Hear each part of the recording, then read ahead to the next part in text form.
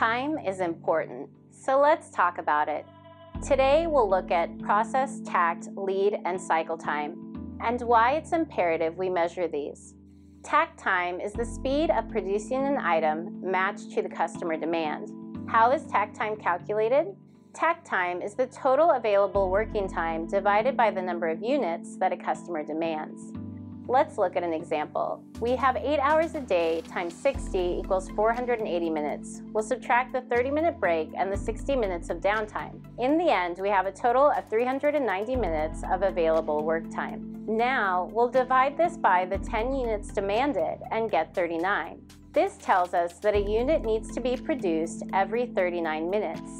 It allows you to gauge the speed at which you need to work to satisfy the customer. This keeps you from being too slow and losing customers, as well as avoiding the production of too much inventory or waste. Your takt time should be similar or just over your throughput time. Throughput time measures how long it takes to produce one item, while takt time is how long it should take. How can you improve your takt time? First, map out your value stream and improve the processes. Conduct a 5S initiative. Conduct Heijunka. Increase production volumes. Finally, if your processes are optimized, look at increasing your capacity by hiring new staff, purchasing more equipment, or pulling more Kanban cards. Now let's look at cycle time. Cycle time is a metric that measures how long it takes for an item to move from the in progress column to the done column. Cycle time is calculated by dividing all the work in progress items by their average completion rate. How do you calculate cycle time? We subtract the start date from the completion date with an optional plus one to correct a zero day cycle where a task is completed on the same day.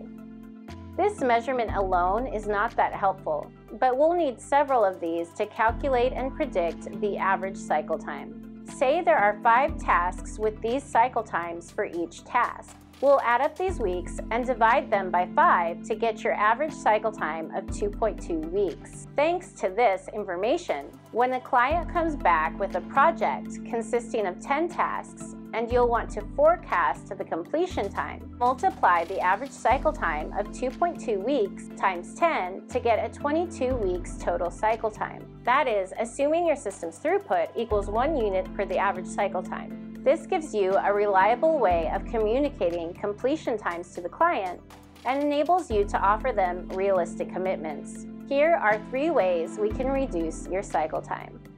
1. Limiting work in progress. 2. Speed up work by ridding your process of bottlenecks and blockers. 3. Classify items on your board into groups or classes of service, since there may be variation in different types of work. For example, coding a new software feature will typically have a longer cycle time than fixing a minor bug. This is where a digital Kanban board can be a powerful tool because of its automatic, accurate, and easy tracking of all cycle times as well as various other statistics. Like this cumulative flow diagram that shows the stability and predictability of work and lets the team calculate and report on cycle times, not only on the overall speed of processing work. What is lead time? The lead time is the time from the moment when the request was made by a client and placed on a board to when all work on this item is completed and the request was delivered to the client. So it's the total time the client is waiting for an item to be delivered, and thus is very important. To clarify, cycle time measures the time between when a task is started to when it is finished. Lead time includes the time from when a customer makes a request to the request completion. I hope you enjoyed learning about these useful tools.